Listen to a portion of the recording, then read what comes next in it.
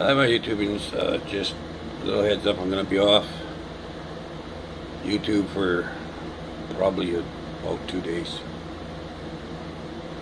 Day or two, anyway. Uh, tried to have a sleep, but it didn't work out very good. I suffered a very major PTSD moment, and uh,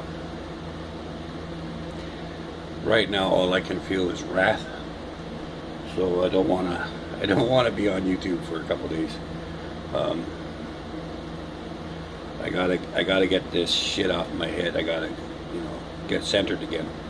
Uh, so um, I just want to let you know if, if you don't see me for a couple of days, it's okay. I'll be back in a day or two. Um, I just really need to not be on YouTube uh, right now. Um, I'll be on Facebook a little bit, but yeah, so um, yeah, just so you know, uh, I'll be okay. I just really need to find my balance and my center again, okay? So until next time, blessings and take care.